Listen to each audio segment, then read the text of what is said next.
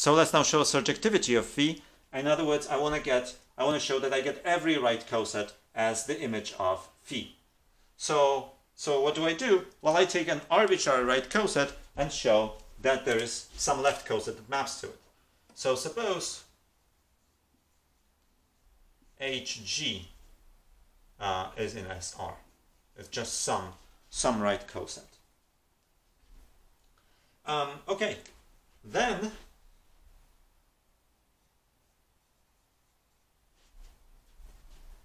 if I just look at uh, G inverse H, then this is a left coset.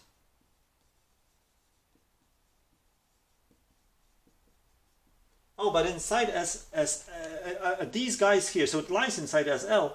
So these guys here are uh, all the distinct cosets. So that means this one must be equal to one of the GIHs.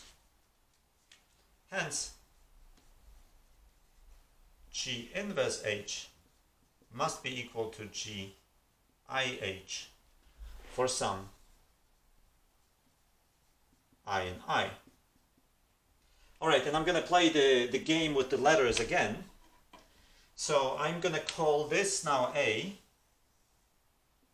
and this B right? That's this setup here. And um, I want to use again the H inverse B. So,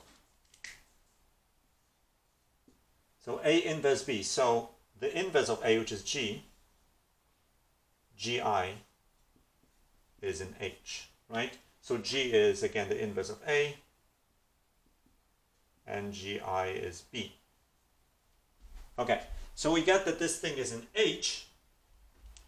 Um, so I also want to call this C and this D inverse. So I want to use this uh, property here. Hence, well, according to this property, C, so um,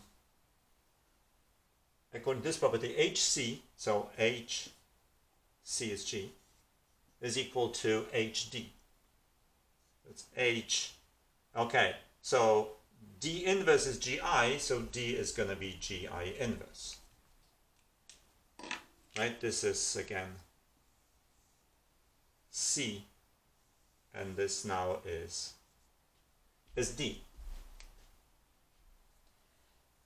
Um, okay, but what is HGI inverse? Well, that is nothing else but phi of GIH. So what have we shown? We have shown that the right coset HG is equal to the image of uh, the coset, left coset GI under phi. So phi is surjective. So um, this finishes the proof.